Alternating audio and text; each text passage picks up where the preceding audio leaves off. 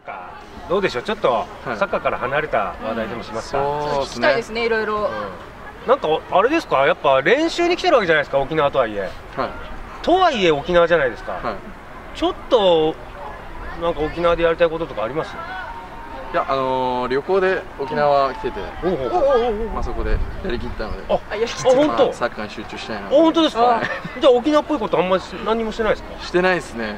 ノブ君とただひたすら。うんあの部屋にいます。あ そそうなんだ。何か美味しいものとか食べてないんですか？ご飯は？いやもうあのホテルのホテルの食事で美味しいご飯を。なんかステーキ食べてないですか？沖縄の。いやーまあホテルのあのご飯が美味しいんで。あ本当ですか。ジャッキーステーキ。ねじゃあ締めのステーキ。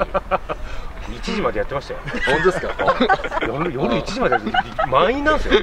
そう満員でしたね。意味わかんないですよね。ね飲んで締めでみんな沖縄の人ステーキ。こんなでかいの食べて。しかも朝方食べるんですよね。あ朝とかもそうなんですね。出身どこでした？っけ僕埼玉です。埼玉なんですあよ。あ一緒？そう埼玉どっちなんですか？埼玉僕新座市で新座市か。はい。僕入間市なんですけどあそうなんですか。ちょっと遠いんですよ。あそうなんですね。線もちょっと違う。何線使ってます？僕は武蔵野線です。ああちょっと遠いですわ。遠いです西武池袋線ですわ。意外と埼玉県でも上と下とか右左で全然接点ないんで。あんまり地元トークで盛り上がらない。あダメだった。ちょっと離れてる。ダメだったな。コストコはよく行きますけどね。あーコストコ、はい。もうめめっちゃ近いですもん。盛り上がっあマジっすか？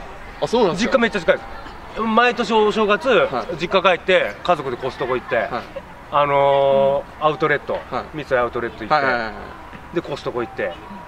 でうん豚肉いっぱい買って 豚肉？なんかしないけどでかいからなんか買っちゃうのよ。もう十分聞けた。コストコの話聞けたから。じゃあちょっとまたコストコ56情報をあの仕入れたら、そうですね。はい入れますはい。お願いします。清水選手でした。ありがとうございます